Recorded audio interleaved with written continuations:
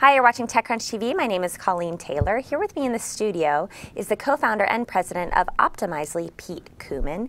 He, along with his Optimizely co-founder Dan Siroker, just wrote a new book all about A/B testing. So thank you for joining us. Thank you so much. To talk about the the name of the book here is A/B testing: the most powerful way to turn clicks into customers. Yep. And now Optimizely is an A/B testing tool. Your entire company does enables A/B testing. So why the need for a book when they could just go to optimizely.com? It's a really good question. It would have been a lot less effort, too. um, so the, the, the, honest answer to that is that uh, building great software that makes A/B testing really easy is only really half of the problem here.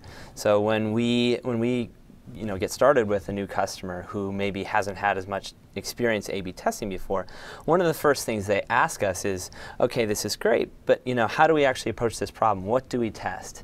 Organizationally, how do we structure this within our company? And those are all questions that you can't answer with software alone.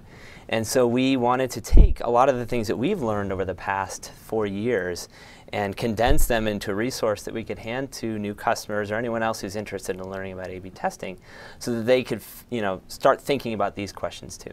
And what I like about this book, since just you know flipping through it a bit, is that it's not just a theoretical.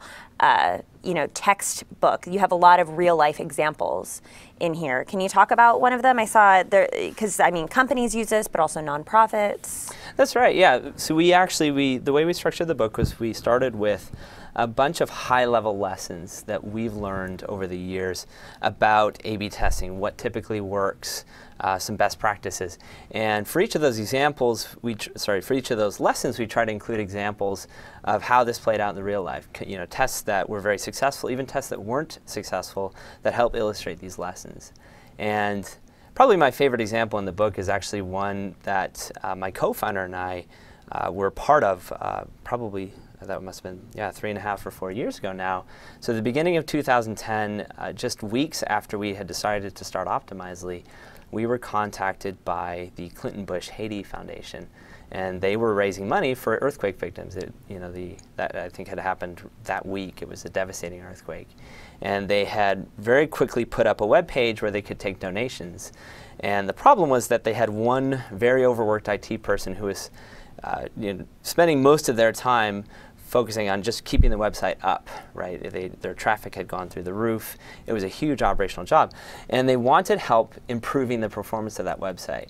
And so we we buckled down, we spent three days with almost no sleep, and we ran test after test after test while building the Optimizely platform and tried many different variations of that page. So an A-B test is really just taking a web page, trying several different versions of it, and showing one of those versions to each incoming visitor. And then you measure which one's more effective. And so what we did was we took the donation form and we added a photo of earthquake victims right next to the donation form. And it turns out that more people were willing to go through the process of filling out that form when there was a reminder of why they were doing it.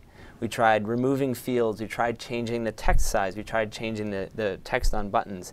And after those three days, we had a version that ended up performing 10% better in terms of dollars per eyeball on that page.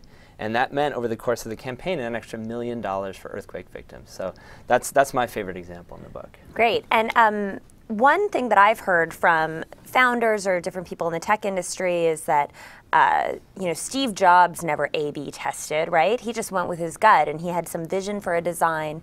You know, this idea that people don't know what they want until until you give it to them, or someone with a great vision gives it to them. Um, is is there an argument to be made that that A/B testing isn't isn't necessary? Well, I think there's an argument to be made that A/B testing isn't the only thing you need, right? You can't A/B test your way from a blank page to a successful business. It's just absurd to even think about. But when you when you think about what A/B testing is, it really is. It's just a mechanism to get to understand your customers better, your visitors better, right? Uh, none of us is is perfect, not even Steve Jobs. And one of the ways that you can account for that is by going out and talking to customers. And when you have millions and millions of visitors, even thousands of visitors, it's just not scalable to do that with everyone. And sometimes the easiest way to understand how they're going to react to something you want to do on your web page or you know, a product that you're, you're developing is just to try it out and, and test it. And so it really is, it's just a feedback mechanism that companies can use to better understand their customers. And it's a very effective one. So it's not the only thing required. You need a lot of ingenuity, you need creativity, and all the other amazing things that go into building something.